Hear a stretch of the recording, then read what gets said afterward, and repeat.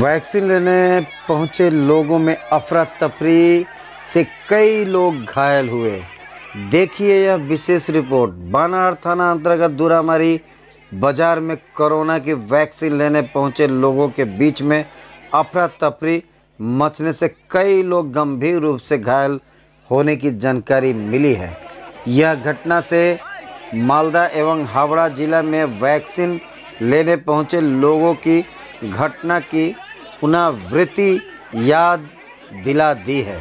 सुबह से ही वैक्सीन लेने के लिए गेट के सामने काफ़ी संख्या में लोग इंतज़ार कर रहे थे। जब स्कूल की गेट खोला गया, तभी लोग अंदर लाइन लगाने के लिए गेट के अंदर घुसे, तभी काफ़ी अफरा तफरी मच गई, जिससे कई लोग एक दूसरे के ऊपर गिर पड़े, जिससे काफ़ी लोग घायल हो गए।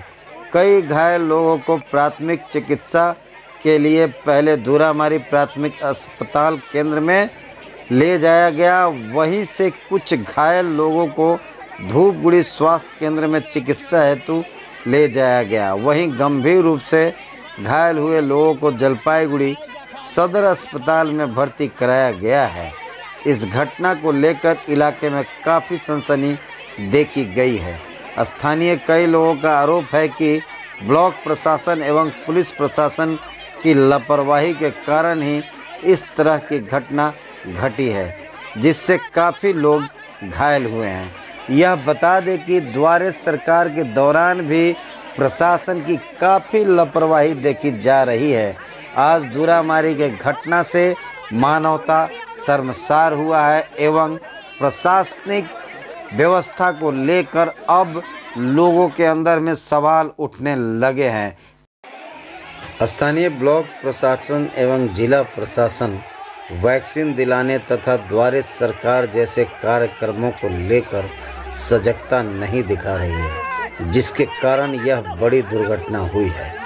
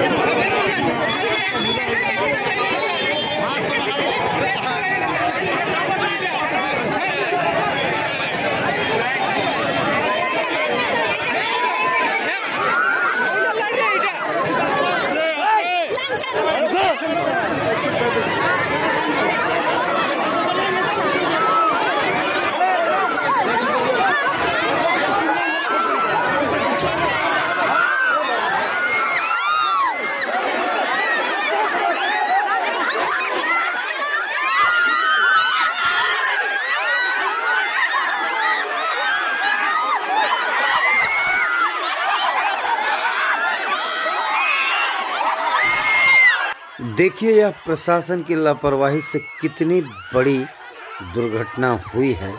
इसमें कई लोगों की जान जाते जाते बची है, लेकिन यह बता दे कि यह दुर्घटना प्रशासन की बेहद लापरवाही का नतीजा देखा जा रहा है।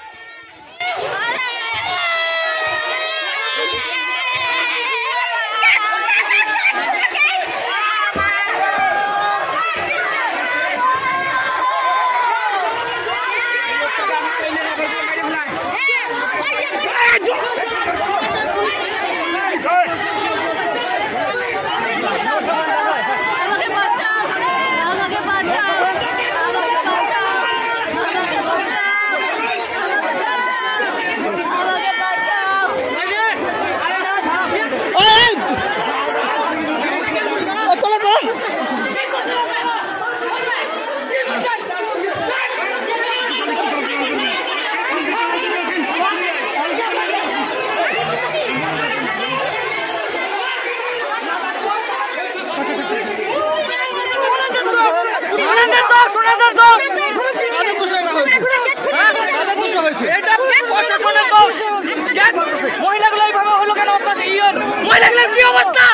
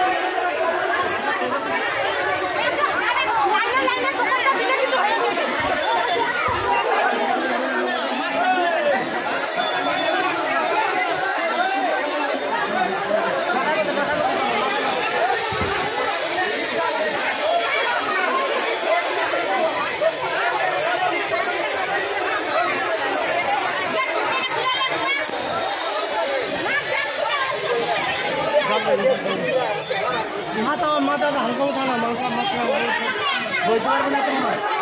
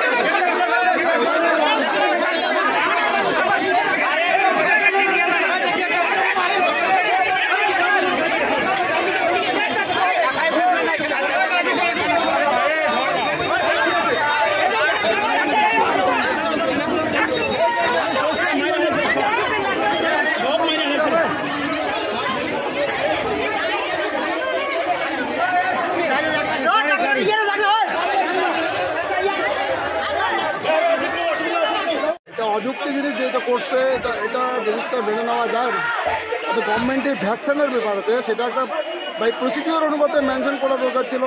আগের থেকে গেটটা খোলা থাকলে এই সমস্ত ঘটনা ঘটতো না। ওখানে গেটের সামনে যে জমায়েত মানুষের একটা ব্যাপক জমায়েত একবারে গেটটা খোলার পরে যে যে সমস্যাটা ঘটলো এইটা মেনে নেওয়া যায় না। এটা পাবলিককে মারারও বুদ্ধি ছাড়া বিকল্প কতজন ইনজুর ইনজুর অন্তত পক্ষে দশ থেকে বারো দিন ইনজুর রয়েছে। আশঙ্কাজনক রয়েছে। আশঙ্কাজনক রয়েছে। আপনার নাম? আমার নাম কানু কুমার রায়। তারপরেও পুলিশ প্রশাসন। হ্যাঁ, পুলিশ প্রশাসন না থাকার সত্ত্বেও কি করে গেটটাকে এইভাবে খুললো এবং খোলার পরে পঁচিশ তিরিশ জন এনজিওড হয়ে তারা দুরামারি প্রাথমিক স্বাস্থ্যকেন্দ্রে ভর্তি আছে এখন। বেশ কয়েকজন তো দেখা গেল যে জ্ঞান ফিরেনি অজ্ঞান অবস্থায় ছিলেন। এখনও পর্যন্ত কিছু জানা যাচ্ছে না হাসপাতালে গেলে বোঝা যাবে কিন্তু কারও কান কেটে গেছে কারও নাক দিয়ে রক্ত বের হচ্ছে কারও মাথা ফেটে গেছে কারও হাত হাত ভেঙে গেছে পা ভেঙে গেছে। অনেক ধরনের এনজিও রয়েছে। আমরা পুলিশ প্রশাসনকে এর জন্য দায়ী করছি।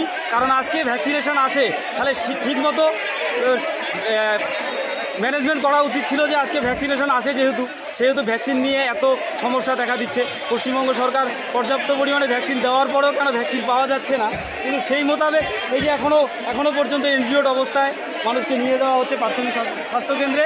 আমরা এর জন্য সবাইকে বলব, এরপরেও যদি কোনো ভ্যাকসিনেশন হয়ে থাকে, তাহলে ভ্যাকসিনেশন যদি হয়ে থাকে তাহলে সব রকমের সরঞ্জাম নেওয়ার পরে যাতে ভ্যাকসিনেশনটা করা হয় না হলে কিন্তু প্রচুর পরিমাণে অসুবিধার সম্মুখীন হতে হবে আমাদের শালবাড়ি গ্রাম পঞ্চায়েতের লোককে।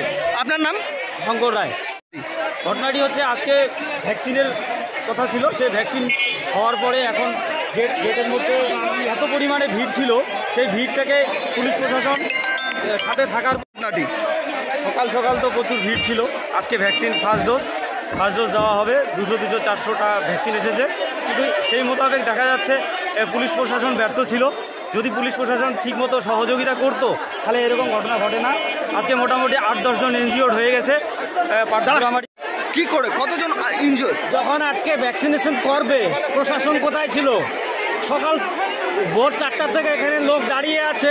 প্রশাসন এখন যদি আসে তা মানুষ হড়বড়ি যাবে না। মানুষকে কন্ট্রোল কে করবে? হাসপাতাল করবে কি প্রশাসন করবে?